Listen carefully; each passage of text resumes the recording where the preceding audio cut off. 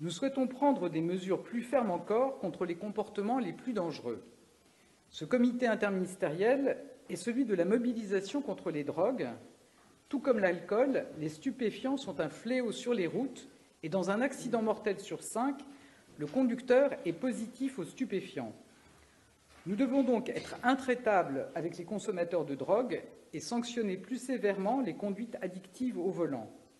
C'est pourquoi nous allons rendre automatique la suspension du permis en cas de conduite sous l'emprise de stupéfiants.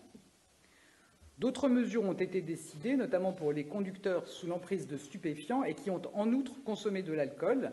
La proposition qui a été faite et qui est acceptée par Madame la, la Première ministre, c'est le retrait de 8 points contre 6 points aujourd'hui, lorsque quelqu'un est contrôlé désormais avec euh, euh, une conduite sous stup et sous alcool.